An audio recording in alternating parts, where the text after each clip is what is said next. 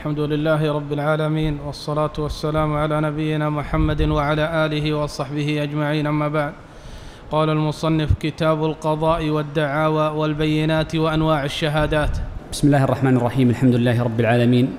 حمدا كثيرا طيبا مباركا فيه كما يحب ربنا ويرضى. وأشهد أن لا إله إلا الله وحده لا شريك له وأشهد أن محمدا عبد الله ورسوله.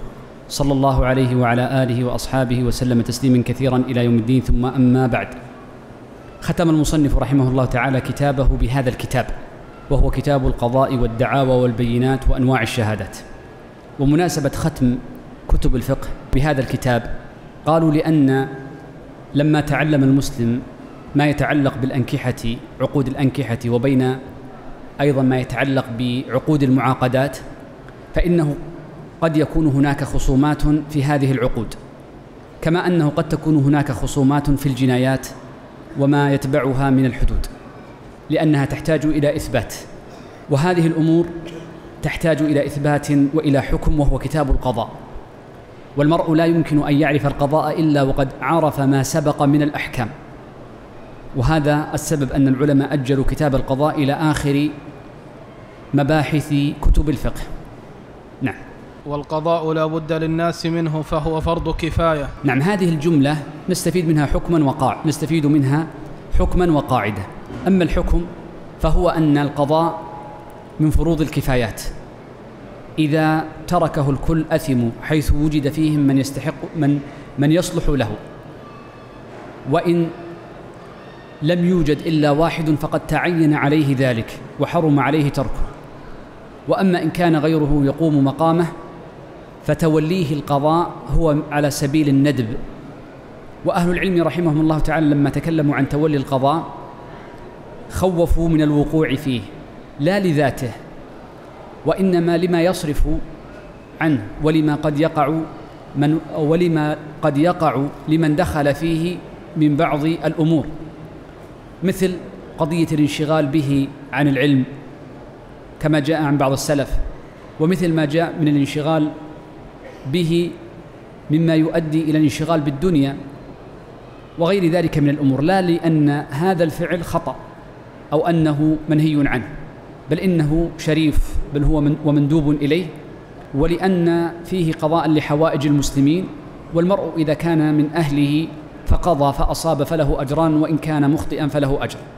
القاعدة في هذه الجملة أن كل ما كان فيه مصلحة عامة للمسلمين فهو من فروض الكفايات. وبناء على ذلك ذكر بعض علمائنا وهو ابن حمدان صاحب الرعايتين قال إنه ما لا حاجة ما لا بد للناس منه من الوظائف فلا فتكون من فروض الكفايات. فقال يلزم في كل بلد أن يكون فيها طبيب ويلزم أن يكون فيها بيطار ويلزم فيها أن يكون حجام. وذكر وظائف كثيرة. فكل وظيفة يحتاج إليها الناس فإن الدخول فيها مندوب وعلى عمومهم يكون فرض كفاية. نعم يجب على الإمام نصب من يحصل فيه الكفاية ممن له معرفة بالقضاء بمعرفة الأحكام الشرعية وتطبيقها على الوقائع الجارية بين الناس. المخاطب في الأساس في القضاء إنما هو إمام المسلمين فهو الذي يتعلق به الحكم اولا. ثانيا أن الذي ينصب القضاء القضاة إنما هو ولي الأمر وغيره فإنه لا يصح تنصيبه لأنهم يرون أن القضاء من عقود الإطلاق. مثل الوكالة. لا أنه وكالة فرق. نقول هو مثل الوكالة في كونه عقد إطلاق. وبناء عليه فلا بد فيه من مول. والمولي إنما هو إمام المسلمين.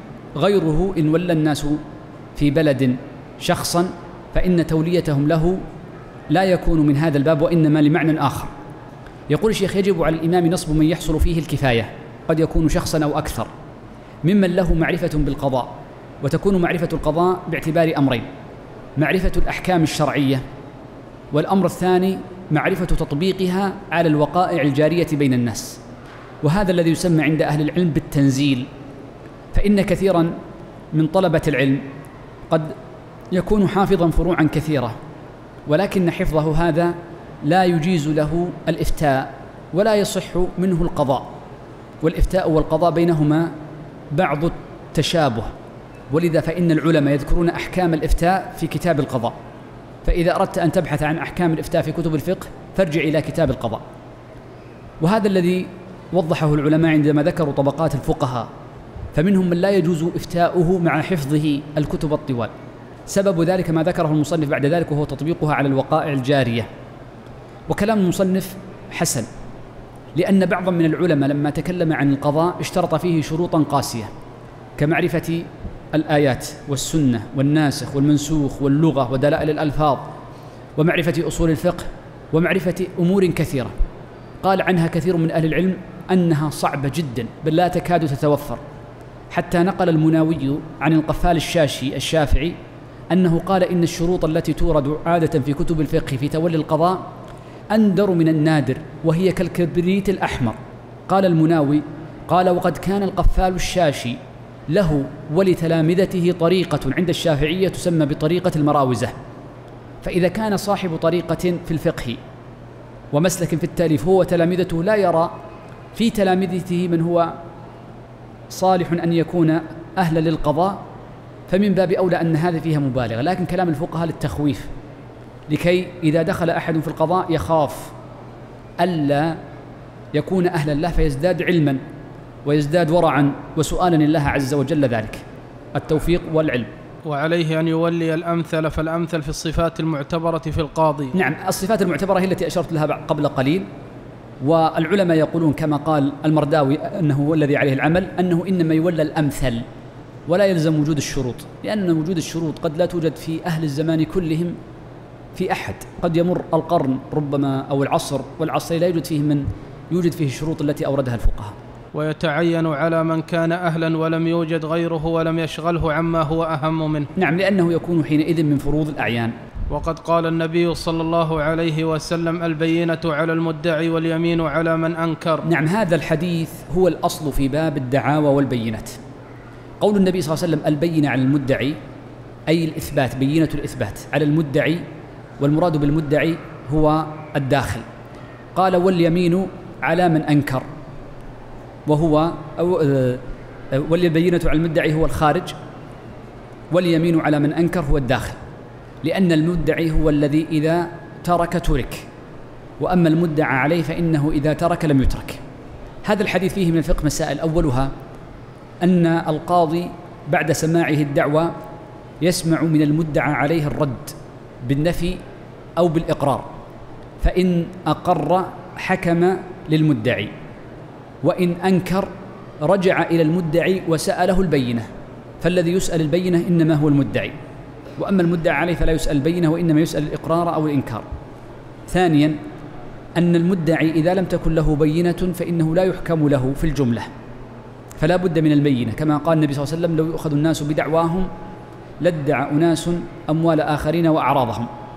الأمر الثالث أن هذا الدليل الحديث يدل على أن اليمين على المدعى عليه لقوله واليمين على من أنكر. وهذه اليمين ليست على إطلاقها فليست كل دعوى لا بينة فيها يحلف المدعى عليه. وإنما ذكر العلماء ضوابط في هذا الباب من أهمها أنه لا بد أن يكون حال يصدق ذلك. فإن كان لا الحال لا يصدق ذلك فلا يمين. المسألة الأخيرة هذه الحديث استدل به الفقهاء على مسألة هي من مفردات المذهب. وهو أنه إذا تعارضت البينتان بينة المدعي وبينة المدعى عليه لم نحكم بتساقطهما وإنما حكم وإنما حكمنا بالترجيح بينهما. فقلنا تقدم بينة الخارج والمراد بالخارج أي المدعي. ووجه ذلك أن النبي صلى الله عليه وسلم قال البينة فتكون البينة المقدمة التي تكون من المدعي وهو الخارج. خلاف الجمهور فإن الجمهور يرون عند التعارض تقدم بينة الداخل. لكن لو لم تكن هناك بينة فيحكم طبعا للخارج لعدم وجود البينة. ففرق بين عدم وجود البينة وبين تعارض البينات. وقال إنما أقضي بنحو ما أسمع. نعم هذا يدلنا على مسألة مهمة وهي القضاء بالعلم.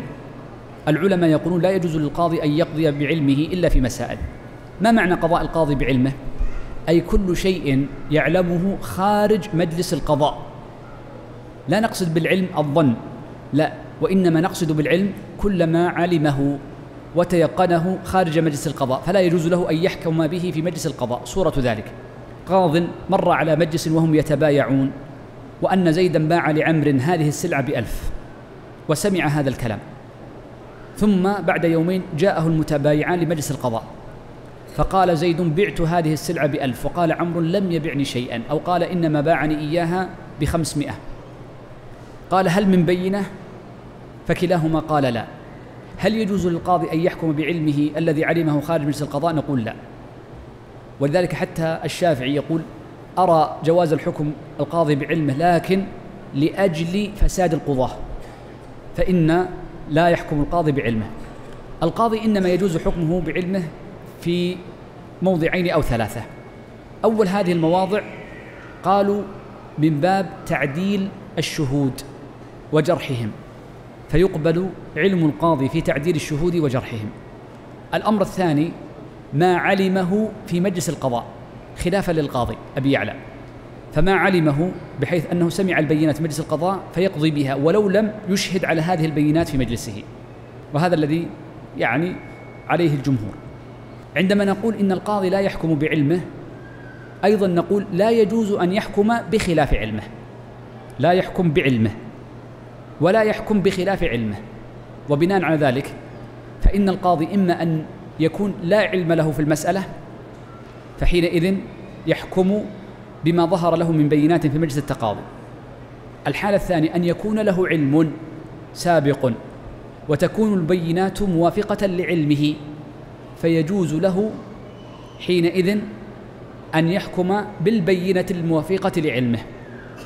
الحالة الثالثة أن يكون له علم سابق والبينة في مجلس التقاضي على خلاف علمه.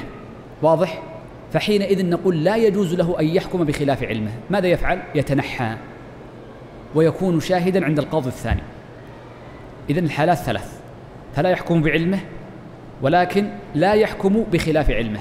وعرفنا كيف تكون ذلك. فمن ادعى مالا ونحوه فعليه البينة. نعم بدأ يتكلم المصنف عن البينات ما هي؟ وذكر هنا البينات في الأمور المالية التي يكون فيها مال أو تؤول إلى مال لأن بعض الأشياء ليست مالا وإنما تؤول إلى المال. والبينة في المال أو ما يؤول إلى المال أمور أولها؟ إما شاهدان عدلان. طبعا قوله شاهدان عدلان أي رجلان ذكران عدلان أي ظاهرا وباطنا. أو رجل وامرأتان. أو رجل وامرأتان. وهذا إنما هو خاص بما يراد به المال أو يؤول إلى المال. أو رجل ويمين المدعي. أو يشهد شاهد بالحق للمدعي مع يمينه فتقوي يمينه شهادة الشاهد. فيقضى في الأمور المالية بثلاثة بينات وهو الشاهدان والشاهد والمرأتان وشاهد واحد مع يمين المدعي. دليل ذلك؟ لقوله تعالى واستشهدوا شهيدين من رجالكم. نعم هذا هو النوع الأول وهو الشاهدان العدلان. لأن قوله من رجالكم أي من رجالكم العدول. فإن لم يكونا رجلين فرجل وامرأتان ممن ترضون من الشهداء. نعم هذا هو النوع الثاني وهو الرجل وامرأتان. وقد قضى النبي صلى الله عليه وسلم بالشاهد مع اليمين وهو حديث صحيح. أي مع يمين المدعي. وهذا حديث ابن عباس في مسلم. وهذه محمولة كلها على ما كان لمال ما كان بمال أو ما يؤول إلى المال لأنها إنما جاءت في البيوع في آية المداينة وهي إنما هي في البيوع. فإن لم يكن له بينة حلف المدعى عليه وبرئ. يعني لو أن المدعي لا بينة له فإنه حينئذ يحلف المدعى عليه لقول النبي صلى الله عليه وسلم واليمين على من أنكر. ونقول هذا إنما هو أغلبي. وأما إذا دلت الحال والظاهر على صدق المدعى عليه وأن المدعي إنما هو ظالم بدعواه فإنه لا يحلف المدعى عليه. فإن نكل عن الحل عن الحلف قضي عليه بالنكول أو ردت اليمين على المدعي فإذا حلف مع نكول المدعى عليه أخذ ما ادعى به. نعم بدأ يتكلم المصنف عن مسألة ترتيبها ما يلي. رجل ادعى على آخر شيئا فقال القاضي هل من بينة؟ فقال المدعي لا بينة والمدعى عليه ليس عنده بينة. فذكر قبل أن المدعى عليه يحلف لقول النبي صلى الله عليه وسلم واليمين على من أنكر. فلما قيل له احلف قال لن أحلف. بعض الناس يخاف أو متورع أو أنه من ذوي الشرف. فنكل عن اليمين أي امتنع عن الحلف. ذكر المصنف قولين فقال القول الأول قضي عليه بالنكول. أي بمجرد امتناعه عن اليمين يقضى عليه بمعنى أننا نثبت أن القاضي يحكم أن الحق للمدعي. قال أو هذا للتخير وهو القول الثاني ردت اليمين على المدعي ويسمى هذا رد اليمين. فيأتي القاضي للمدعي فيقول أيها المدعي ادعي أن الحق لك. هذه مسألة فيها خلاف على قولين. فالمشهور عند المتأخرين أنه يقضى بالنكول ولا يلزم رد اليمين. والرواية الثانية وهي الأظهر دليلا وعليها العمل القضائي أن اليمين ترد إلى المدعي لأن المدعى لأن اليمين تكون في أقوى جانب المتداعيين وهنا المدعي أقوى جانبا لنكول المدعى عليه. والمصنف أشار بأو للتخيير إشارة للخلاف فقصده الخلاف هذا هو الظاهر من كلامه. قال فإذا حلف أي إذا حلف المدعي مع نكول المدعى عليه أخذ ما ادعى به لأجل البينة التي أو لأجل اليمين التي بذلها. نعم. وأما على المشهور فبمجرد النكول يقضى عليه من غير رد لليمين. ومن البينة القرينة الدالة على صدق أحد المتداعيين. نعم. البينات يقول العلماء الأصل فيها على سبيل الإجمال ثلاثة أشياء. الإقرار وسنتكلم عنه بعد قليل والشهادة وأورد المصنف بعض أحكامها وسيفرد لها حديثا بعد قليل والنوع الثالث ما يسمى بالظاهر يسمونه الظاهر. وبعض العلماء مثل المصنف يسميها القرينة. والقضاء بالظاهر معتبر. مثل القضاء باليد فإنه لو تنازع اثنان في عين وهذه العين بيد أحدهما والبينة شهدت باليد ولم تشهد بالملك نقول يقضي القاضي له بها إذا ادعى ملكها. فهناك بينات فهناك يعني ظواهر يحتج بها ولكن الظاهر أضعف من البينة. نعم. قال ومن البينة ومن البينة القرينة الدالة على صدق أحد المتداعيين. نعم. إذا أردت أن تبحث عن البينة في كتب الفقهاء فالمقصود بها عندهم الظاهر. ومصطلح القرينة استخدمها بعض أهل العلم كابن القيم في الطرق الحكمية وشيخه وبعض المتأخرين. مثل أن تكون العين المدعى بها بيد أحدهما فهي له بيمينه. نعم. الظاهر هنا هو اليد. فحكم له باليد.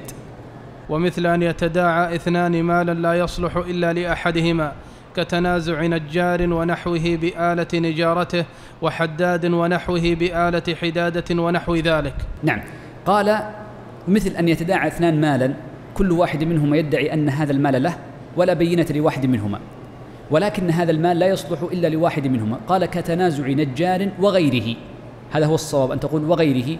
بآلة نجارة. اثنان تنازع عند القاضي في منشار. النجار يقول هذا المنشار لي ورجل ليس بنجار وإنما مزارع يقول بل هذا المنشار لي. العادة أن المنشار إنما يكون للنجار وخاصة في الزمان القديم كانت الآلة لها مؤنة وكلفة. الآن المنشار تشتريه بأرخص الأسعار في كل بيت. ومثل ذلك أيضا بالحداد مع غيره بآلة الحدادة. ونحو ذلك. من الأمثلة لو أن رجلا طلق امرأة ثم تنازع في متاع البيت. فادعت المرأة أن هذا المتاع لها وادعى الرجل أن هذا المتاع له. فنقول إن ما كان من المتاع يصلح للنساء فإنه يكون متاعا لها وما كان للرجال فإنه يكون للرجل وهكذا. وتحمل الشهادة في حقوق الآدميين فرض كفاية. بدأ يتكلم عن الشهادات والشهادة إما تحمل أو أداء والتحمل هو وقت أو الشهادة على العقد ونحوه والأداء أمام القاضي. فقال أولا تحمل الشهادة في حقوق الآدميين فرض كفاية لأنه يقابل حقوق الآدميين حقوق الله عز وجل فإنه مباح وليس بمندوب لأن الحدود الأصل فيها الستر. إذا فقوله تحمل الشهادة فرض كفاية وقلنا إنه فرض كفاية للآية ولا يأبى الشهداء إذا ما دعوا جاء أن هذا المراد بها إما التحمل وقيل إما الأداء وهما تفسيران واردان عن الصحابة رضوان الله عليهم. وأداؤها فرض عين. نعم وأداؤها فرض عين حيث تعينت لا مطلقا بأن يطلبه صاحب الحق وألا يكون عليه ضرر. نعم. ويشترط أن يكون الشاهد عدلا ظاهرا وباطنا. نعم العدالة ظاهر وباطن والعدالة الظاهرة هي أمام الناس والباطن ما يكون من اعتقاد وما يكون من فعل في سره. كل كل الشهادات عند التحمل يشترط فيها أن يكون عدلا ظاهرا وباطنا إلا الشهادة على النكاح فيكتفى فيها بالعدالة الظاهرة. والعدل هو من رضيه الناس لقوله تعالى ممن ترضون من الشهداء نعم. ضابط العدل الذي أورده المصنف هو الأصح من قول أهل العلم فإن مرد ضابط العدل إلى عادة الناس. وقال هو من رضيه الناس فيختلف الناس في ضبطه وهو ظاهر الآية لقول الله عز وجل ممن ترضون من الشهداء. وقد يكون ذلك العدل واقعا في كبيرة من الكبائر. وقد يكون فعل شيئا يظن بعض الناس أنه مخل بمروءة. وليس ذلك مخلا في العدالة على القول الثاني الذي مشى عليه المصنف وهو الأظهر دليلا وهو ظاهر القرآن. لأن هذا فيه فيه بعض المشقة. نعم. ولا يجوز أن يشهد إلا بما يعلمه برؤية أو سماع من المشهود عليه أو استفاضة يحصل بها العلم في الأشياء التي يحتاج التي يحتاج فيها إليها كالأنساب ونحوها. نعم. هذه مسألة متعلقة بالتحمل. العلماء يقولون لا يجوز لامرئ إذا شهد شهادة أن يشهد على شيء إلا أن يكون قد تحملها بواحد من أمور الثلاثة. إما برؤية بأن يرى الشيء المشهود عليه مثل أن يرى زيدا قد أتلف مالا لعمر أو يرى وصية أو يرى مالا قائما الذي هو محل العقد أو غير ذلك من الأمثلة أو بسماع من المشهود عليه كأن يسمع الشهود يعقدون العقد ويذكرون الثمن ويذكرون الشروط فهنا يشهد على ذلك. لقول النبي صلى الله عليه وسلم في الحديث المروي عند ابن عدي في الكامل على مثل هذه فاشهد أي من شدة الوضوح. الأمر الثالث مما يتعلق بالتحمل وهو الشهادة بالاستفاضة. قالوا يجوز الشهادة بالاستفاضة فيما تقبل فيه الاستفاضة. مثل قالوا الشهادة على الولادة والنسب. فالناس يعرفون أن فلانا ابن فلان وفلانة مع أنهم لم يشهدوا ولادته. من لم يشهد ولادته إلا القابلة وهي امرأة واحدة. كذلك الشهادة على النكاح. ربما يتزوج رجل فيموت الشهود. والناس يقولون فلان زوج فلانة.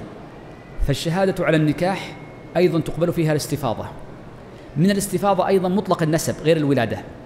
كأن يقال إن فلان إن فلانا ابن فلان.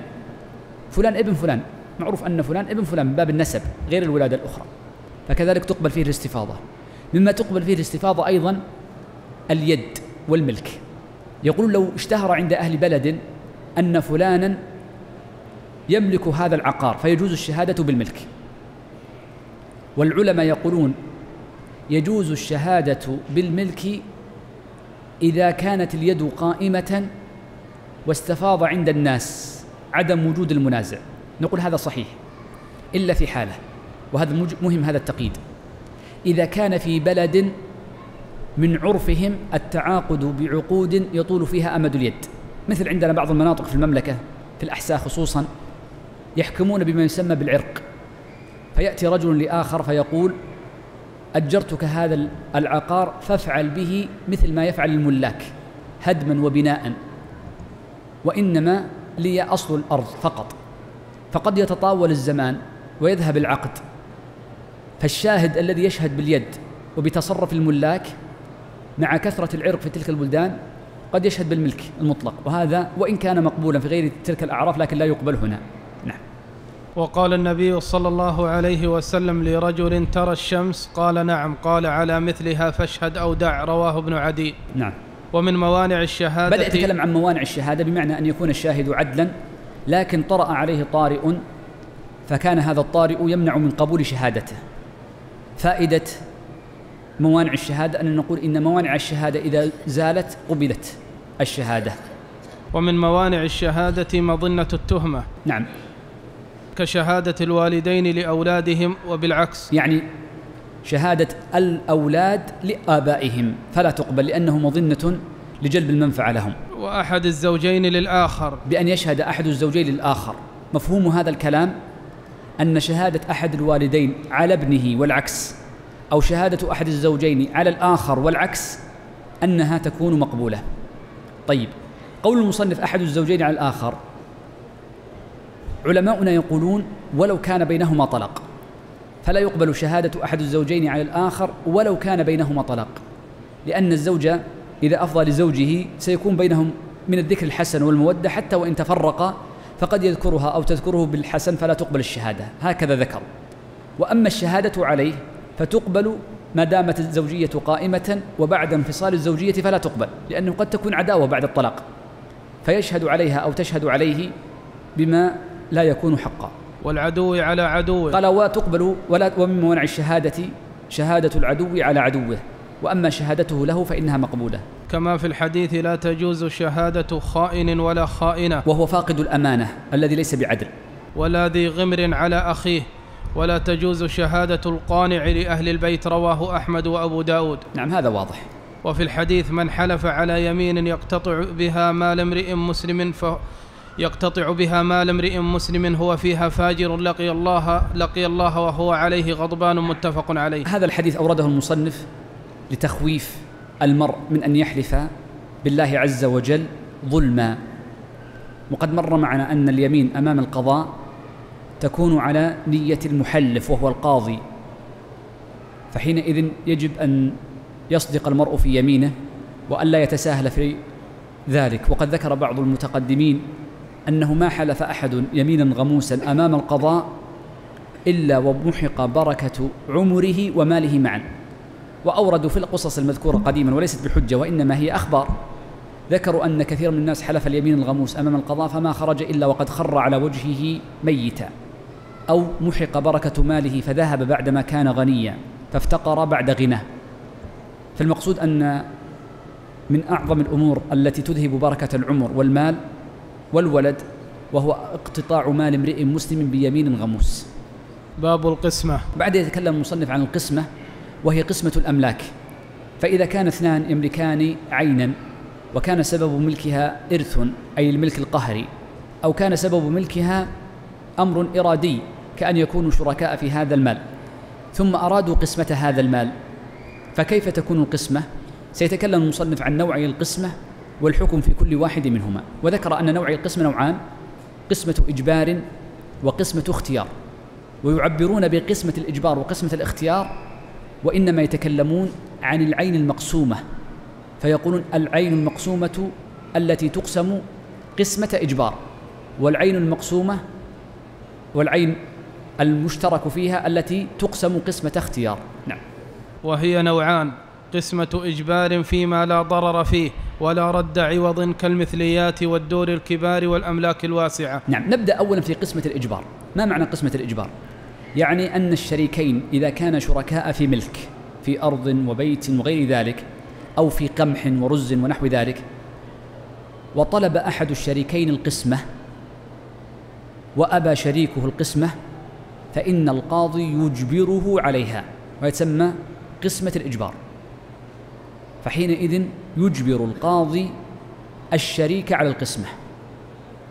طيب ما هي التي تقسم قسمة إجبار؟ ما هي الأعيان التي تقسم قسمة إجبار؟ قال الشيخ فيما لا ضرر فيه ولا رد عوض.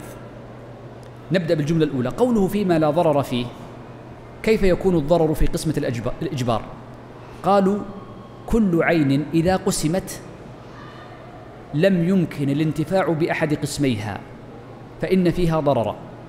أو إذا قسمت فإنه ينقص قيمة أحد الشقين. مثاله أرض شخص عنده أرض صغيرة يملكها هو وآخر. عفوا هذه نعم عنده أرض كبيرة هذه قسمة التراضي. عنده أرض كبيرة. لو قسمت وكل واحد منهما يملك نصفها. فلو قسمت بينهما لكل واحد منهما خمسمائة متر مثلا. فنقول إن الأرض اليمنى واليسرى قيمتهما واحدة. ويمكن الانتفاع بكل واحدة من الأرض من هاتين الأرضين فحينئذ يجري على هذه الأرض قسمة الإجبار. إذ يمكن الانتفاع بالأرض ولا فرق ولم تنقص قيمتها. عندما نقول لم تنقص قيمتها أي بنسبتها من مجموع الأرض. هذا معنى قول المصنف فيما لا ضرر فيه.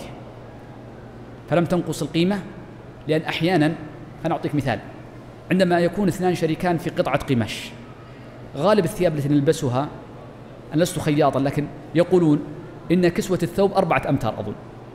أظن كذلك صح؟ الكسوة ثلاثة ولا أربعة؟ أربعة. كسوة الثوب أربعة أمتار. عندما يأتي اثنان ويكون يملكان قطعة قماش لا تصلح إلا ثوبا لا تصلح سراويلا ولا غير ذلك.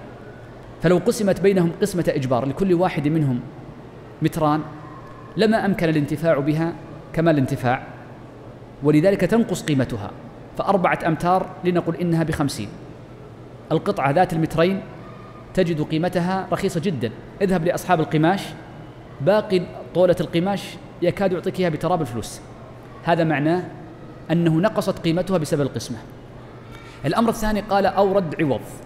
بمعنى أنها إذا قسمت اختلف سعر أحد القسمين وإن تساويت القسمة. مثل الأرض الشمالية والجنوبية التي تكون على شارع وسيع وضيق. فحيث انتفت هذه الشروط هذه القيود الثلاثة. وهو رد العوض وإمكان الانتفاع والأمر الثالث عدم نقص القيمة. فإنه حينئذ تجري فيها قسمة الإجبار. قال مثاله كالمثليات. اثنان يملكان ثلاثة أكياس رز. فنقول تقسم بينهم قسمة إجبار. لكل واحد منهما كيس ونصف. نأخذ الكيس الثاني ونقسمه بينهما. قال والدور الكبار. أرض كبيرة لا ضرر فيها. كذلك تقسم قسمة إجبار. والأملاك الواسعة من المزارع وغيرها. النوع الثاني. وقسمة تراض وهي ما فيه ضرر على أحد الشركاء في القسمة. أو فيه رد عوض فلا بد فيه من رضا الشركاء كلهم. نعم. قال وقسمة التراضي بمعنى أن الشريكين إذا كان يملكان هذه العين فليس لأحدهما أن يجبر الآخر على القسمة بل يتراضيان ويتفقان على القسمة. إما أن يقول شخص خذ الأعلى وآخذ أنا أو خذ الشمالية وأنا آخذ الجنوبي أو خذ أنت الشمالي وأزيدك مالا ونحو ذلك. فيكون من باب التراضي. أو خذ الثلثين وأنا آخذ الثلث وهكذا. كله يسمى تراضي. طيب. لو أن شريكين اشتركا في عين فطلب أحد الشريكين من الآخر القسمة فأبى ثم ترافع إلى القاضي. فنقول للقاضي ماذا تفعل؟ نقول إن كانت الأعيان مما تجري فيها قسمة الإجبار فاقسمها بينهم. ولا تستأذن ثم اقرع بينهم فمن خرجت له القرعة خرج أخذ جزءا. لأنها متساوية. وإن كانت الأعيان لا تقسم قسمة إجبار وإنما قسمة تراضي ماذا يفعل القاضي؟ يبيع العين تباع ولا تقسم لا يجوز قسمتها لأن لا تقسم إلا بالتراضي ثم يقسم ثمنها. هذه هي الفائدة. هي مسألة سهلة جدا. طيب ما هي التي تقسم قسمة التراضي؟ قال ما فيه ما, ما فيه ضرر وعرفنا الضرر أمران نقص القيمة وإمكان الانتفاع أو فيه رد عوض بأنها إذا قسمت كان أحد أحد القسمين أعلى سعرا من الثاني. قال فلا بد فيها من رضا الشركاء كلهم كما تقدم. وإن طلب أحدهم فيها البيع وجبت إجابته. نعم فالقاضي إذا طلب أحدهم البيع أو طلب القسمة وامتنع الثاني من البيع فالقاضي يبيعها عليه. وإن أجروها كانت الأجرة فيها على قدر ملكهم فيها والله أعلم. يقول الشيخ إن الناس إذا كانوا شركاء في عين فإن لهم حال يعني في الانتفاع بها أمران إما أن ينتفعوا بها بأنفسهم فينتفعون بما يسمى بالمهايئة فلو أن العين ملك الاثنين على السوية فالأول يأخذها يوما والثاني يوم أو للأول ثلثان وللثاني ثلث فالأول يأخذها يومان أو يأخذها يومين والثاني يأخذها يوما واحدا. هذا الانتفاع بالنفس. وأما الانتفاع بالغير فأن يؤجر العين ثم تقسم أجرتها بينهما على قدر أملاكهما. باب الإقرار. نعم ختم المصنف كتابه وكتاب القضاء بالإقرار لنكتة يوردها العلماء دائما. فيقولون إن ختم كتب الفقه بالإقرار لنكتة وهو الفأل فكما ختمنا كتاب الفقه اليوم بالإقرار فنرجو الله عز وجل ونسأله أن يختم أعمالنا بلا إله إلا الله وهو الإقرار بالتوحيد. وقد قال النبي صلى الله عليه وسلم من كان آخر كلامه في الدنيا لا إله إلا الله دخل الجنة. ويرجى لطالب العلم الذي يكثر من قراءة كتب الفقه وكتب الحديث المبوبة على الفقه حينما ختموها بالإقرار تذكر هذا الأمر. فنرجو إن شاء الله أن يكون يختم له بذلك. فقد جاء أن محمد أو أن بعض المحدثين لما حضرته الوفاة أرادوا أن يلقنوه الشهادة فذكروا له إسناد هذا الحديث. فتممه ثم قال من كان آخر كلامه من الدنيا لا إله إلا الله ثم قبضت روحه. فلذلك أحيانا العلم والتذكير به يكون سببا إن شاء الله بذكر الله عز وجل في موضع الشدائد. وهو اعتراف الإنسان بحق عليه بكل لفظ دال على الإقرار بشرط كون المقر مكلفا. نعم قال اعتراف الإنسان بحق عليه. هذه الجملة نأخذ منها أن الإقرار حجة قاصرة. فلا يصح إقرار المرء على غيره ولو كان أبا له أو كان المقر وليا أو شريكا. فالمقر حجته قاصرة. هذا معنى قوله بحق عليه. وقوله بحق تشمل الحقوق المالية وتشمل أيضا الجنايات بأن يقر بأنه جنى أو أتلف. قوله بكل لفظ دال عليه يدلنا على أن الإقرار ليست له صيغة بل العبرة بالمعنى. كما أن الإقرار إنما يكون باللفظ لا بالفعل والإشارة.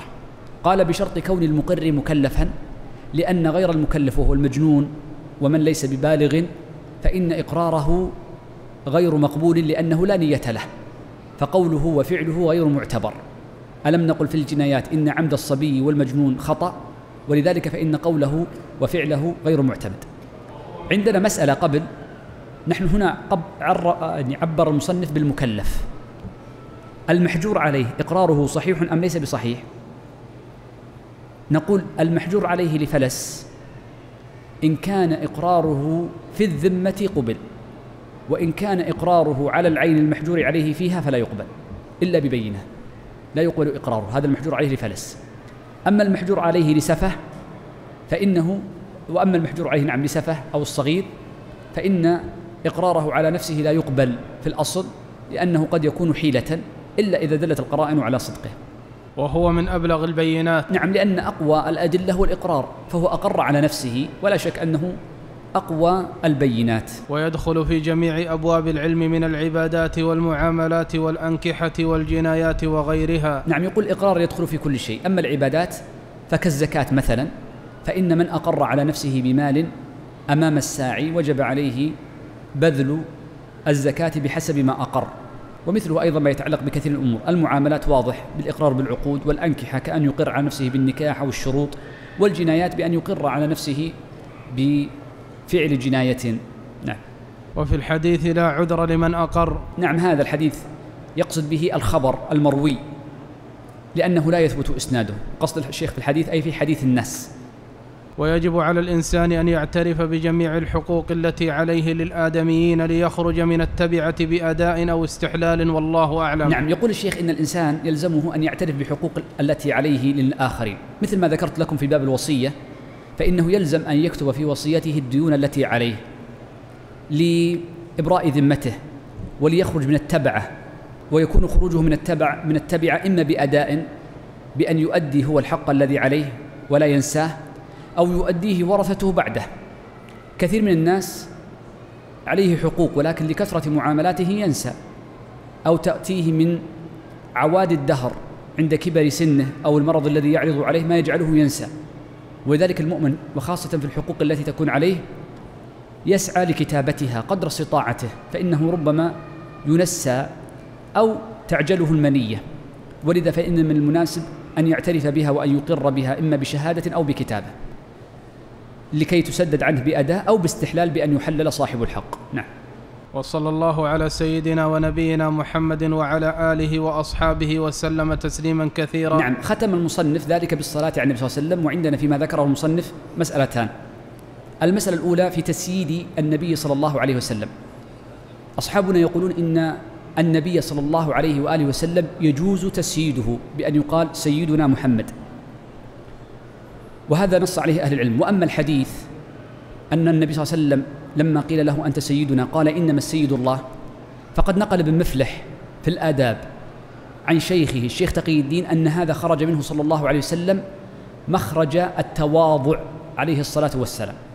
وقد جاء عند الحاكم حديثا وقد جاء عند الحاكم حديث أن رجلا جاء النبي صلى الله عليه وسلم فقال أنت سيدنا فسكت عليه الصلاة والسلام. فيجوز تسويد النبي فيجوز تسويد النبي صلى الله عليه وسلم بأن يقال سيدنا محمد إلا في الأدعية التوقيفية كالأذان والصلاة في التحيات والصلاة الإبراهيمية عليه صلى الله عليه وآله وسلم. فإن الأدعية التوقيفية إنما نقف عند النص ولا نتجاوزه. وقد جاء في حديث البراء في البخاري لما علمه النبي صلى الله عليه وسلم دعاء الذي يقوله عند النوم وفيه آمنت بنبيك الذي أرسلت. فلما أراد البراء أن يرده قال آمنت برسولك الذي أرسلت. ماذا قال النبي صلى الله عليه وسلم؟ قال لا ليس هكذا وإنما بنبيك الذي أرسلت. مع أن لفظ النبي والرسول لفظان إذا أطلقا اجتمعا وإذا اجتمعا افترقا فدل ذلك على أن المعنى واحد لكن يدلنا هذا على أن الأدعية إذا قيدت بزمان أو بمكان أو بعدد أو بفضل فإنها توقيفية. المسألة الثانية جرت عادة العلماء ختم كتبهم بالصلاة على النبي صلى الله عليه وسلم. تلمس سببا في ذلك بعض أهل العلم وأشار إليه الشيخ تقي الدين في لما تكلم عن ختم الخطبة بالصلاة. قال المناسب لأن المرء يختم خطبته بالدعاء والدعاء من أسباب إجابته ذكر النبي صلى الله عليه وسلم والصلاة عليه. وقد جمع الحافظ بن بشكوال جزءا في الصلاة عليه وسلم نصفه في قرن الدعاء بالصلاة عليه صلى الله عليه وسلم وحيث أن من عادة العلماء ختم كتبهم بالدعاء فناسب أن تذكر الصلاة.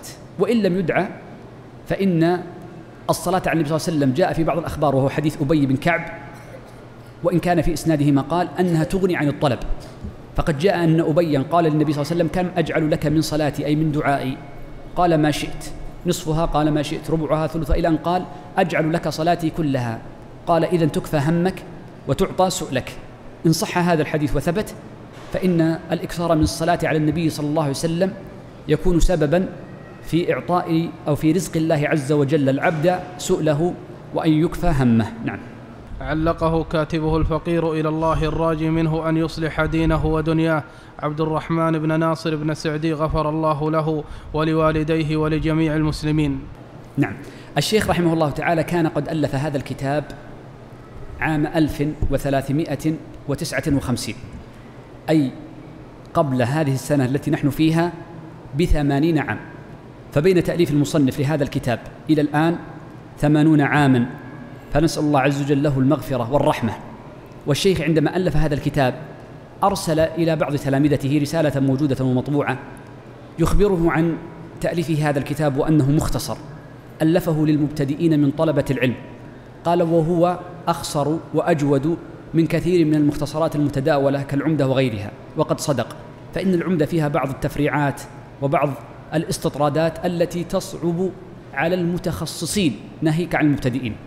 ولذا فإن هذا الكتاب إنما هو بداية. ولذلك فإني أوصي طالب العلم أن يعلم أن هذا إنما هو الدرجة الأولى في طلب العلم فهو بداية. ثم بعد ذلك ينتقل لما بعده. فهذا إنما جعل للمبتدئين ولكن ربما توسعت في شرحه بعض الشيء لما أعلم أن بعض الحاضرين من أهل الفضل والعلم وطلبة العلم. وقد جرت عادة العلماء عند ختمهم الكتاب بأمرين. الأمر الأول الدعاء. وكان أحد مشايخنا هنا في الحرم يقول يلزم بعد كل درس دعاء لأن من أعظم القربات الدعاء. فأسأل الله العظيم رب العرش الكريم أن يرزقنا جميعا العلم النافع والعمل الصالح وأن يتولانا بهداه وأن يغفر لنا ولوالدينا وللمسلمين والمسلمات. وأسأله جل وعلا أن ينفعنا بما علمنا. وأن يزيدنا علما وأن يرينا الحق حقا ويرزقنا اتباعه وأن يرينا الباطل باطلا ويرزقنا اجتنابه. وأسأله جل وعلا أن يغفر لنا ولوالدينا وللمسلمين والمسلمات وأن يرحم ضعفهما ويجبر كسرهما ويجيرنا وإياهما من خزي الدنيا وعذاب الآخرة. وأسأله جل وعلا أن يصلح لنا في نياتنا وذرياتنا وأن يصلح ولاة أمورنا وأن يوفقهم ويدلهم لكل خير وأن يصلح لهم بطائنهم. وصلى الله وسلم وبارك على نبينا محمد.